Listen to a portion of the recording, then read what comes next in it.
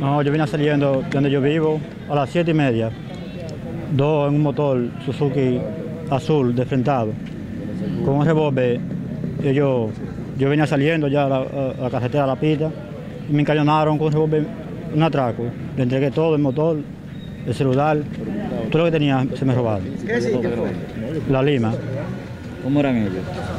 Dos tipitos indios, uno como yo así más o menos, un indiecito gordito, pero no lo pude conocer. No, no, no, no me dejaron que le mirara la cara. ¿Eso fue dónde? Saliendo de la policía cotada Guanito. ¿Cómo llegan esa gente donde usted? ¿Eh?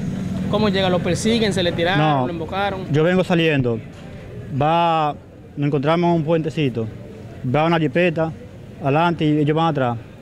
Pero cuando yo vengo un poco, yo no vengo pendiente a- atrás nada, sino adelante. Ellos como que se volvieron. Y ahí, que vienen junto con- conmigo ya, cuando vienen a ver, estaban junto conmigo. ¿Cuándo fue eso? El 24 el mes pasado. ¿Qué fue lo que te llevaron, tú dices? El motor, el teléfono, todo, lo, ¿Tenían to- todos los documentos. ¿Eh? Un Suzuki azul.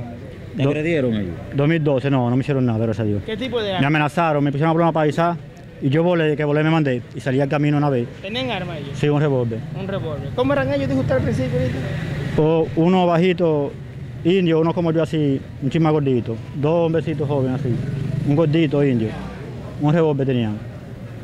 El nombre suyo, ¿cuál es? Fermín Leonardo. Muchas gracias.